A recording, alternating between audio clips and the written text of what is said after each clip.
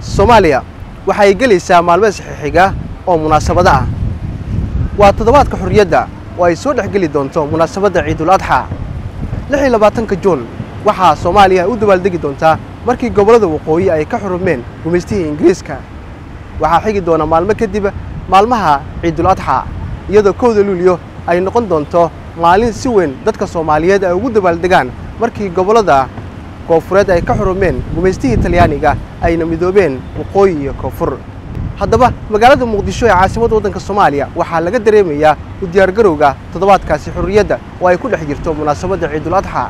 Daljirka daasoon waxa uu ka mid yahay goobaha sida weyn maamulka gobolka banaadir uu ugu diyaariyey in dadku ay ugu dabaaldegaan munaasabadaha ciidda iyo sidoo kale munaasabadaha xorriyadda sidoo kale geedaha ku yaalla magaalada muqdisho ayaa waxaa la mariyey rinji ka kooban buluug iyo caddaan kuwaasi oo ka turjumaya midabada calankeena uu xambaarsan yahay. Guryaha iyo goobaha ganacsi ayaa waxaa la qotumiyey calanka soomaaliya.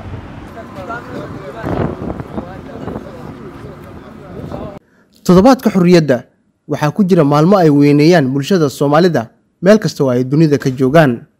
Waxaa la dhigaa fantasiyooyin kala duwan oo lagu maamuusayo sarena loogu qaadayo qiimaha maalmahan. Qof kasta oo soomaali ah marka la gaaro maalmahaasi ee kale ah lix iyo labaatanka juun iyo sidoo kale kowda luulyo waxa ay kaga duwan tahay maalmaha kale.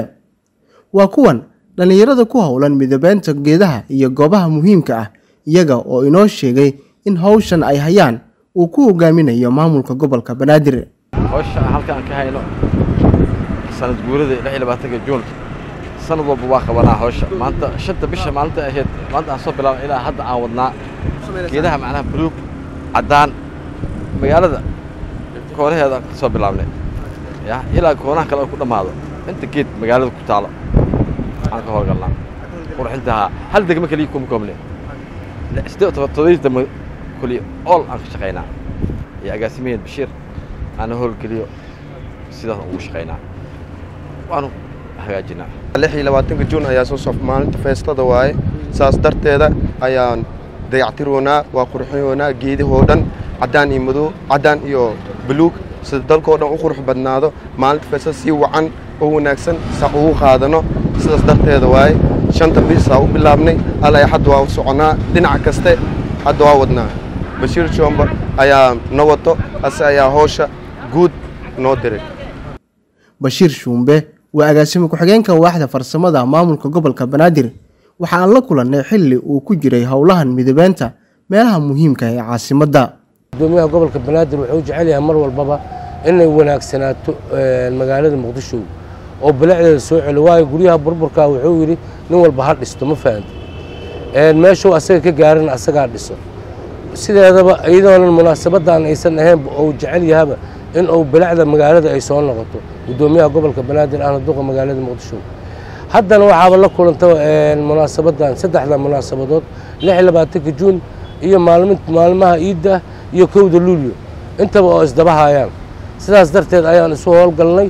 Marka ninkii muwaadana waa ka qayb qaadaha ninkaa muwaadin ahaynna in dhow ka daya degmo walba waa ka socotaa waa la faray. Annagana maamul gobolka banaadir intuu ka gaaro waa u jeedaan siddeedda degmo isku xiran adikaaba aragtaba lambar afar ka soo bilaaw ilaa kugey sugunta liido. Waa u jeedaan geedaheeda via roma xamarweyne dhexdiisa shangaani degmooyinka isku xiran howlwadaag degmada hodan wixiiba geed ku yaal waa la mariyey. Wixii kaloo degmahoo dhimanna ayagaa loo xil saara waa la qurxiyoa magaaladu dhammaanteed waa caasimadda muqdisho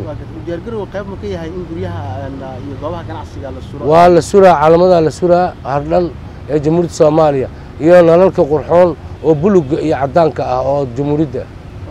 Shacabka soomaaliyeed ayaa si weyn ugu diyaargaroobaya xuska maalmaha xorriyadda oo fooda nagu soo haysa.